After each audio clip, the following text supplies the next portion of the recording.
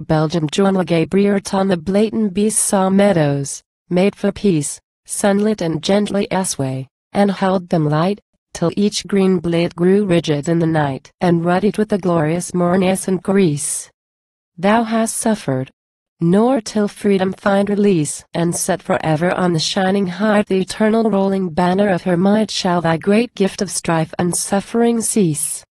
We, bred of one small island in the west, a little shrine of freedom, far away we, who can bow at no strong tyrant's host, bend low our heads and pride to thee today, for all unknown, a smiling babe at rest, within thy lowly manger freedom lay.